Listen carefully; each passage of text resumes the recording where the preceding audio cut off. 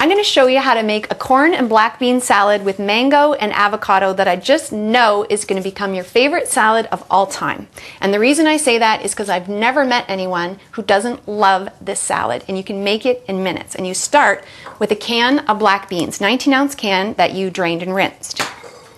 Then you're going to add one red bell pepper chopped up and a 14 ounce can of crunchy corn drained I like the one that's called Summer Crisp.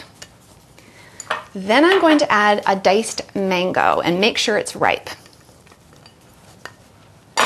This is one small container of grape tomatoes that I cut into quarters.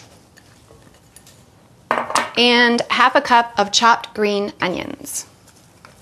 It's already looking really colorful. My favorite ingredient in the whole world, avocado. So this is one large avocado that I've cubed. And the dressing is really simple. I'm just going to squeeze the juice of one lime, and that's going to help prevent the avocado from going brown. So it's probably about two tablespoons of lime juice. And I hope you're writing all this down because I'm telling you, it's going to be your favorite salad ever. Trust me on this one. So that's the lime juice. About a tablespoon of olive oil. Alrighty. Black pepper, I think I can make this in under 60 seconds. And just a little bit of sea salt, maybe, I don't know, a quarter of a teaspoon. You don't need too much. And then what I like to add for zip is some chili powder, just an eighth of a teaspoon.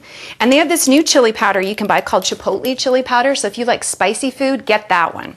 Just an eighth of a teaspoon. I know an eighth doesn't seem like much, but it's a strong spice and it really makes a difference. And then an eighth of a teaspoon of ground cumin. Those are spices that you'd have on hand if you were making chili. And the last ingredient is cilantro. And it really makes the salad. So if you don't like cilantro, then you and I can't be friends. I'm just joking. You could use parsley, but it wouldn't be the same. So this is probably about two tablespoons of chopped fresh cilantro. You can chop it as fine or as coarse as you like. Big pieces are stronger and the smaller pieces you won't get the flavor as much. So that's good. Okay, how easy was that? That's it. Now you just have to mix it. And the thing I love about this salad is it's so fresh tasting. And it's really a meal in itself, but if you wanted to, you could add grilled shrimp or grilled chicken and make it a complete meal.